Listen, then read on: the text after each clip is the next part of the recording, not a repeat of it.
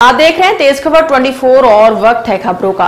शहर के कॉलेज चौराहा स्थित एयू स्मॉल फाइनेंस बैंक की एटीएम मशीन व सीसीटीवी कैमरे में तोड़फोड़ कर बदमाशों ने रुपए निकालने का प्रयास किया है।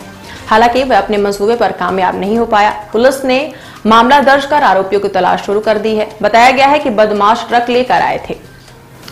अमैया थाने के कॉलेज चौराहा स्थित जॉन टॉवर में एटीएम बूथ स्थित है। उक्त तो एटीएम बूथ को बदमाशों ने निशाना बनाया है। रविवार और सोमवार की मध्य देर रात बदमाशों ने एटीएम बूथ में रुपए निकालने का प्रयास किया। उन्होंने सीसीटीवी कैमरे को तोड़ फोड़ कर क्षतिग्रस्त कर दिया। उसके बाद मशीन को खोलकर उससे रुपए निकालने का प्रयास किया। उन्होंने पूरी मशीन क्षतिग्रस्त कर दी, लेकिन रुपए निकालने में कामयाब नहीं हो पाए। बाद में बदमाशों को बैरंग लौटना पड़ा। स्थानीय लोगों को घटना की जानकारी हुई, जिसके बाद थाने में शिकायत दर्ज कराई गई है। मौके पर पहुँची पुलिस ने घटनास्थल का निरीक्षण किया है, लेकिन बदमाशों का पता नहीं चल पाया है। वारदात में किसी बड़े गिरोह का हाथ होने की आशंका जताई जा रही है, क्योंकि बदमाश पूरी योजना के साथ ट्रक लेकर वारदात को अंजाम देने आए थे।